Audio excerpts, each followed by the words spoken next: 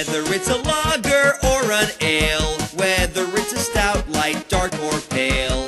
If you can brew it, Chad can review it. It's time for Chad's Beer Reviews. He's not quite an amateur, not quite a connoisseur, but regardless of the brewer, he's got taste in beer for sure. You can tell just by his gut, this guy is a bona fide beer nut. So whether it's a porter or an IPA, whether it's from Europe or the USA, if you can brew it, Chad can review it. It's time for Chad's Beer Reviews. Hey, welcome to an episode of Chad's Beer Reviews.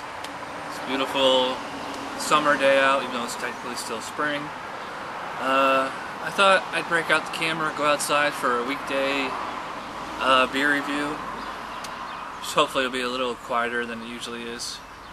Uh, we're drinking a beer that was sent to me from Hog 40305 down in Florida. This is Terrapin Rye Squared. Um, what's interesting is that it says Imperial Pale Ale, but Beer Advocate and Rate Beer both consider it an, a double IPA. It says, uh, with twice the malt, twice the hops, and twice the flavor of Terrapin's award-winning Rye Pale Ale, the Rye Squared teaches you a lesson in good taste. Great beer, it's elementary. Uh, I also printed off this thing off their website. It's 8.5% ABV, uh, 80, 80 IBUs. That's pretty bitter there. Uh, uses a lot of malts and hops. Two row pale, Munich, malted rye, victory malt, honey malt, and hops. It's Magnum, Fuggle, East Kent, Golding, Cascade, and it's dry hop with Amarillos. Using my USS Wasp 2005 holiday party pint glass. I'm wearing my Navy uh, workout clothes. I'm actually going to work out after this beer review. Well, I mean, not immediately after, but you know, sometime this afternoon. So, um, as for the appearance, I mean, that's typical double IPA. It's you know, burnt umber, dark orange, maybe even copper. Uh, yeah, it's like it's even like a maybe you can even call it light brown. Uh, didn't get a whole lot of head there. Probably could have poured it a little harder, but it's a eggshelled, yellowish, frothy.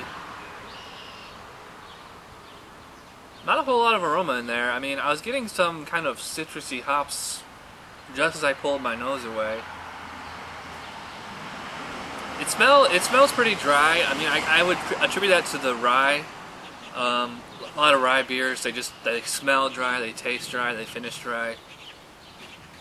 You know, it's it's smelling like like a very uh, I guess kind of floral IPA. So let's see how it tastes. It was a pretty big beer, all right. Pretty, real bold flavor. It's uh, up front. It's like a thick, syrupy kind of dry pine that you get in a lot of East Coast IPAs. Terrapin's out of Georgia, so it doesn't really surprise me they lean more towards the East Coast style. And it finishes with like kind of a citrusy, cleaner hop, but it's still very thick. Yeah, those hops, they linger for a little bit. It's it's kind of like a dryness, a general dryness I would attribute to the rye. Um, I mean, it doesn't taste like rye per se. I mean, I've had a couple of rye beers that tasted like liquid rye bread. I don't really get that here. I guess it's leaving kind of like a rye bread aftertaste. Real thick, real very noticeably malty. Um, you know, real tasty. It's bordering on it's it's kind of one of those more syrupy, you know, real thick IPAs. Um, which I mean, it, which the nice thing about that is that it's easy in the mouth. I mean, it's not very carbonated at all. Um, so it's very soft and gentle in the mouth. The bitterness doesn't really come until you uh, finish it, and the hops linger for a little bit, but then they, they fade away. Yeah, I'm getting more of a maltiness and more of the malted rye now. Not so much the citrusy hops anymore. It's very uh, just straight up, you know, the hop uh, cone sticky, sticky, resiny, thick, kind of syrupy. Not not very crisp.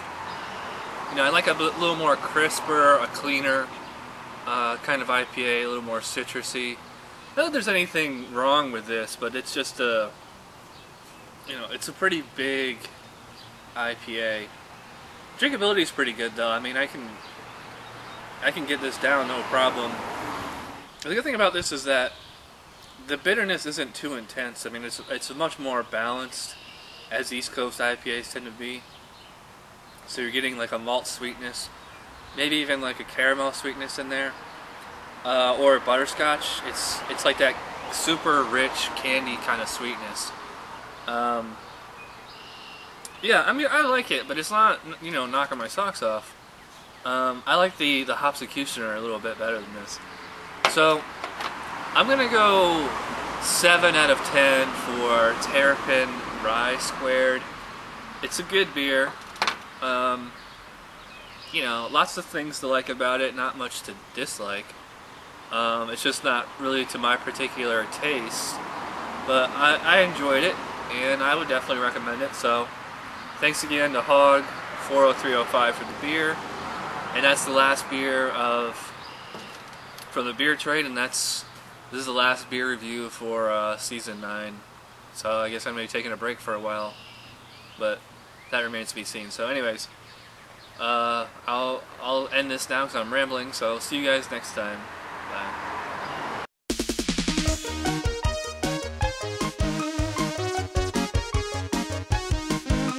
Somebody brewed it. Chad just reviewed it. Thanks for watching Chad's beer review. Trust me, the next episode will be a lot better.